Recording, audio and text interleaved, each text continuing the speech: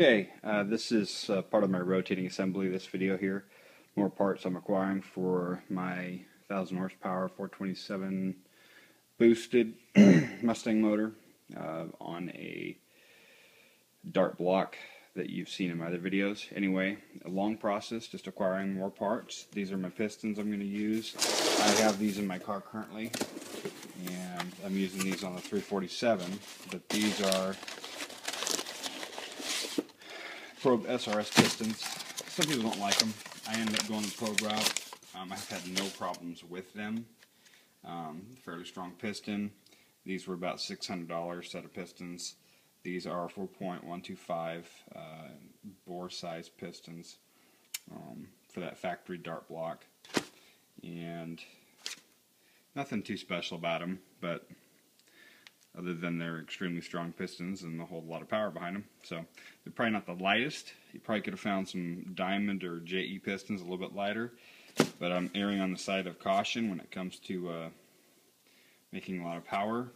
That also goes along with the tool steel pin that I'm using on these. Now that I get this back in there, that's how that goes. And these will be fully floating with C-clip locks. But anyway, nothing too super exciting here just a set of pistons that will get the job done. okay, those are the pistons, and then I'm uh, using scat uh, connecting rods, as you can see here.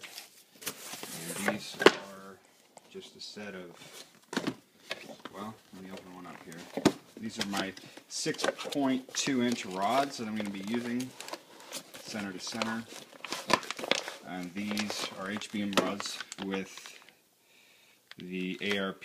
Well, let me open one up. Let me set this down for a second.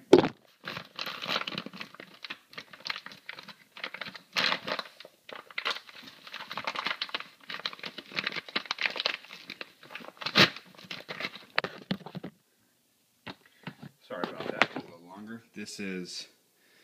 These are just um, the scat rods here. They come with their ARP. I had to upgrade these actually. The ARP 2000. I don't know if they'll all focus or not. Let me get out of the way of all that stuff. Yeah, it says right on the bolt, but I don't think it's going to focus for it. But yeah, they're scat, or I'm sorry, ARP um, 2000 rod bolt series are the strongest they make for them. But anyway, these will be bushed. Obviously, the bronze bushing up top there with the C clip on the pin.